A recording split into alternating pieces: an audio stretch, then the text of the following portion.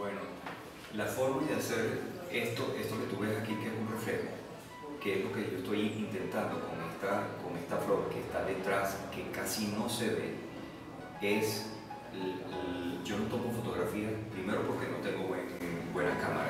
Memoria fotográfica. Y tengo la memoria en, en mi cabeza, la memoria fotográfica en mi cabeza. Lo que hago es que tomo detalles escritos de cada una de las cosas que pasan en ese momento.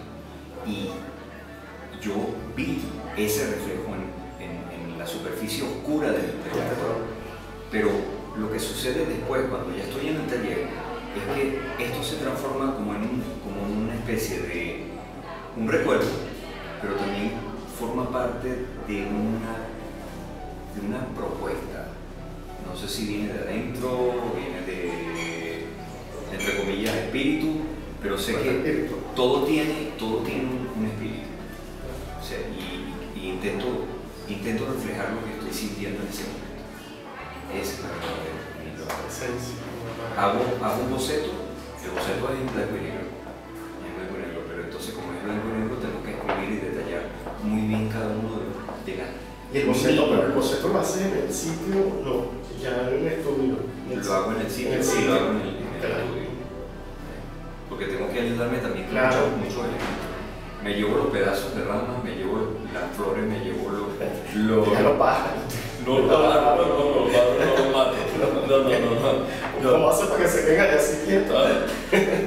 Coño, se queda aquí todo eso. Sí, sí, claro. Se queda aquí todo eso. Entonces lo tiene pegado. Me su fotografía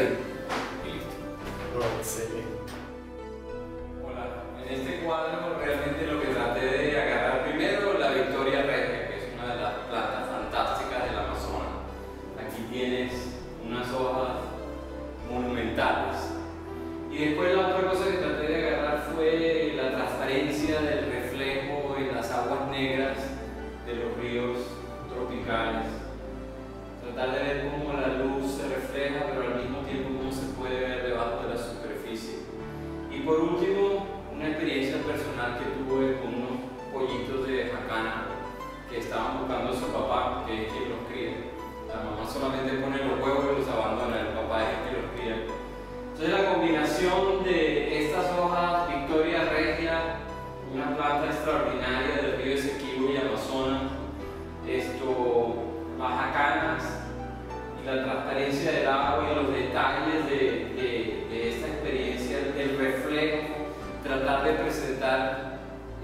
cielo sin que realmente haya cielo en este cuadro. Y presentar el bosque sin que realmente haya bosque. Realmente para mí fue una experiencia extraordinaria.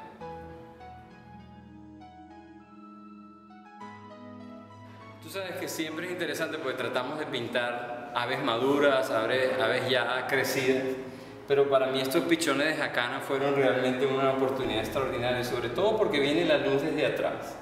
Entonces poder presentar esa, esa bolita de pluma, porque acuérdate que estos son tamaño el doble de lo que en realidad son. Si este pajarito estuviera en mi mano sería la mitad de tamaño. Entonces tratar de pasar ese, esa luz a través del plumón, el reflejo del agua, que son las, las, hojas tienen como una cera, entonces el agua no se mojan con el agua. Entonces tú ves como burbujas de agua rodando sobre las hojas, el reflejo de las jacanitas, sobre el agua y al mismo tiempo que todavía se vean las raíces debajo de las hojas. Para mí este, esta escena del cuadro realmente me gusta mucho porque pude presentar unos pollitos de probablemente uno o dos días de nacidos en su mejor medio, en su ambiente natural. Aquí realmente traté de presentar tanto los reflejos como las transparencias. Y usé, el acrílico de una manera muy creativa porque el acrílico tiene la ventaja que lo puedo usar como acuarela o como óleo. En este caso lo usé como acuarela pero a múltiples capas. Aquí por ejemplo ves pedazos del cielo y del bosque que hay detrás del cuadro pero que en realidad no están en el cuadro, los estamos viendo reflejados. Pero al mismo tiempo aquí ves un detalle que hay unos peces debajo del agua y ves las raíces, los troncos de estas hojas que están debajo del agua y al mismo tiempo ves el reflejo de la flor sobre la superficie. Para mí fue son capas y capas y capas de acrílico, hasta cinco capas. en las que yo logro reflejar no solo la profundidad del agua, sino los reflejos que sobrepasan la superficie, lo que está arriba y lo que está abajo. ¿Cómo manejas la luz cuando estás trabajando con capas? En este caso, todo esto es un estudio, yo hago mis bosquejos en el campo, pero al mismo tiempo yo produzco estas hojas en cartulina en mi casa, las pongo sobre agua y hago estudios de cómo se reflejan esas hojas sobre el agua, hago estudios de cómo pasa la luz a través de los pétalos, uso las flores de verdad, uso los reflejos de verdad, trato de presentar cómo se está viendo la luz reflejada, cómo los bordes realmente están sugeridos, las burbujas, eh, las ondas de, la vibración para darle dinamismo a, la, a la obra. Aquí este ángulo no se ve la pintura bien realmente, pero lo que te quería mostrar es que se ve la opacidad y la brillantez de las capas. Aquí por ejemplo yo te estoy mostrando casi negro, un opaco que es casi negro, la opacidad del borde del agua y sin embargo tú ves que hay partes de la pintura que son brillantes. Esa brillantez la están dando capas de capas de medio acrílico transparente con muy poco pigmento. Entonces lo que hace es que se ve la luz debajo de ese pigmento. Entonces, por ejemplo, esta hoja anaranjada, debajo tú lo que ves es verde. Pero en realidad lo que se hizo fue una capa de verde y después una capa de pigmento anaranjado y después una capa de solamente de barniz con muy muy poco pigmento.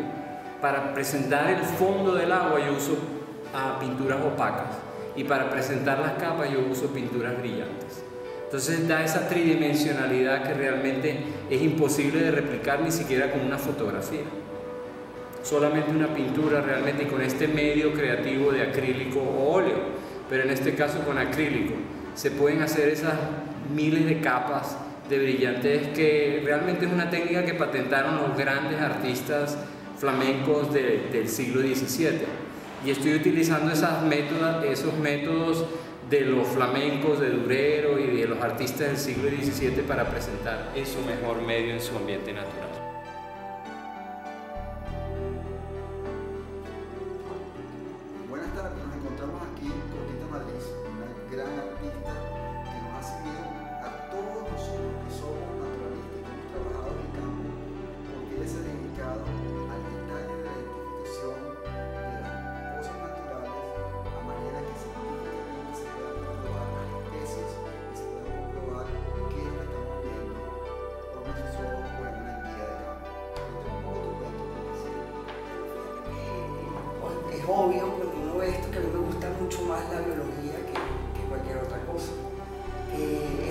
quería hacer, pero nunca lo logré porque era mal.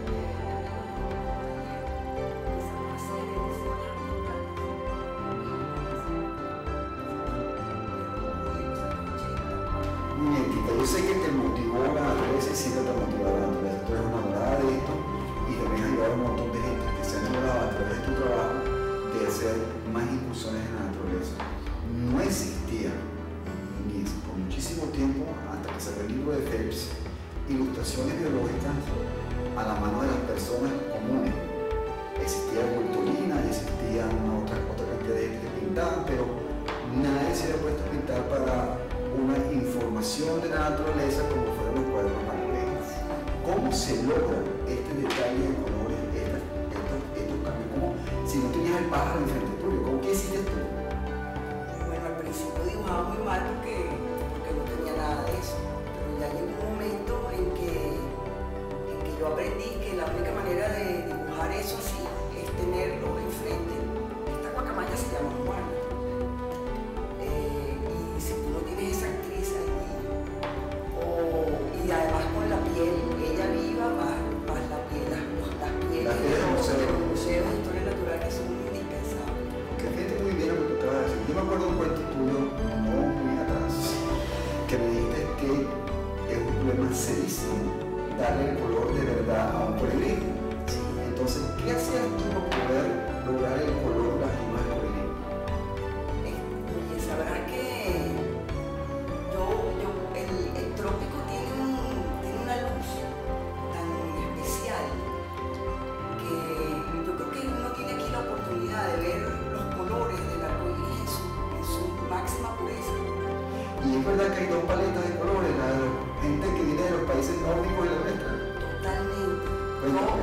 Amiga que usábamos el, mismo kit de, de acuarelas, ella y yo, una amiga inglesa que vino a trabajar aquí.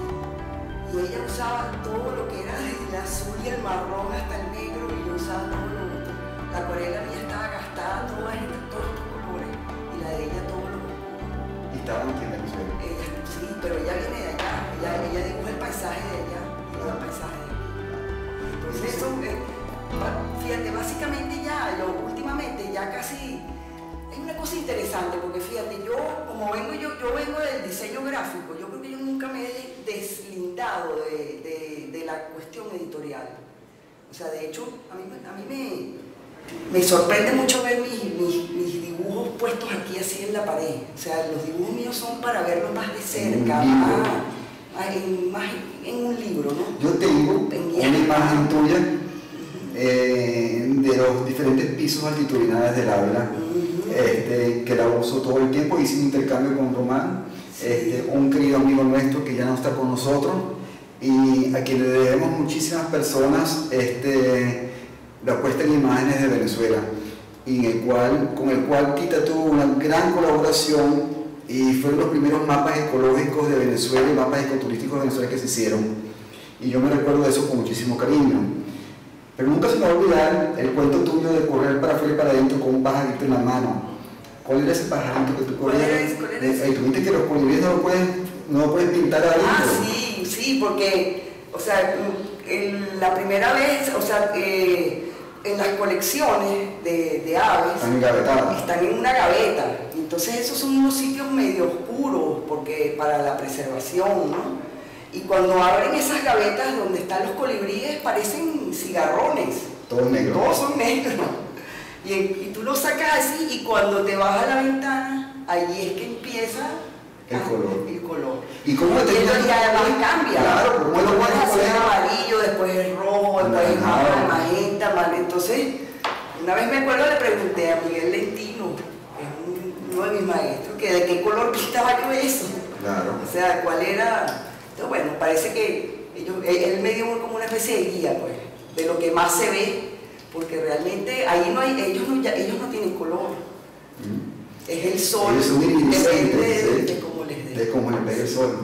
Y de hecho, una de las razones por las cuales son oscuros es para protegerse de ellos, que cuando se meten en la zona del bosque se desaparecen. Sí. Este, mira, Tita, estoy encantado de poder estar contigo hoy y vamos a seguir ahora en el blog de Digital Camera Adventures. Este, esta es mi primera, mi primer video con artistas de tu calibre y vamos a hacer una cosa bien bonita y la vamos a compartir con el mundo entero para que sepan que no se puede hacer fotografía, no se puede reconocer los animales ni conocer un individuo si no conoces cuáles son sus colores, cómo lo puedes determinar. La guacamaya bandera es la única guacamaya que no tiene rayas en la cara. Ese tipo de cosas tenemos que aprender los que queremos hacer fotografía de naturaleza y te doy de corazón un gran, un gran abrazo y gran.